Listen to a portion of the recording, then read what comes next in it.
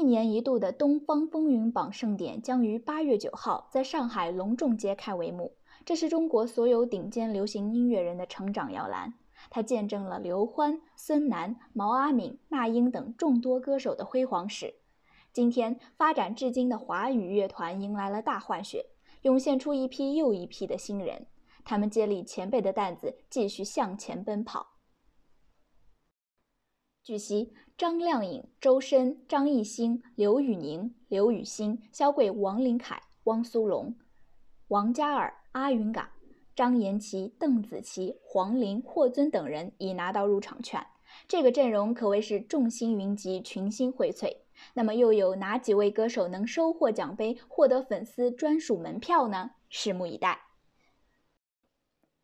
目前，各种票选活动井然有序地展开着。刚刚结束了第二十八届东方风云榜网络影响力男歌手团体及女歌手团体的助力活动。紧随其后是微博人气歌手团体的助力活动。最令人心动的是，这项活动的福利多多，最终声浪值排名前三的歌手，粉丝还可以获得奖励门票。其中位列第一的粉丝团体会获得五十张门票，位列第二的粉丝团体会获得三十张门票，位列第三的粉丝团体会获得十张门票。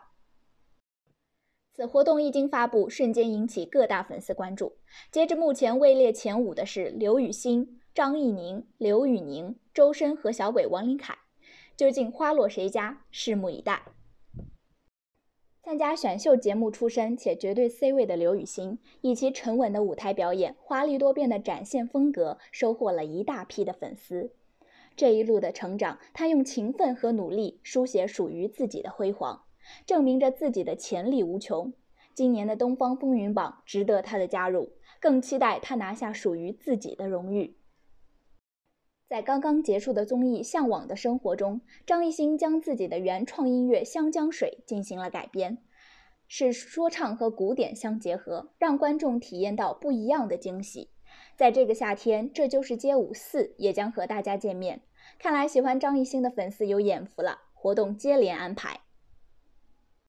摩登兄弟刘宇宁近期可谓是风生水起，影视乐坛齐开花。刚刚结束的电视剧《长歌行》使得他收获一群粉丝。这不，忙碌的他又进组了，期待《安乐传》早日杀青，早日播出。歌手出身的他虽然跨界到演艺圈，但是并没有放弃音乐之路。近来各大热播剧都能够听到他的声音，可喜可贺。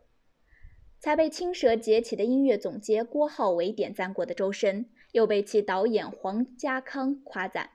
他不但帮我们完成了一首歌，他是在创作。他对自己音乐也有执念，这就是他对音乐的态度，夜以继日，只为追求心中最完美的剧本。值得一提的是，这次的活动都是需要依靠微博来完成的。微博粉丝数量不大的周深，却能够脱颖而出。这就是他对音乐执念的回报吧。看来这次的活动竞争比较激烈，斩获此项大奖并获得粉丝门票的歌手会是谁呢？我们拭目以待。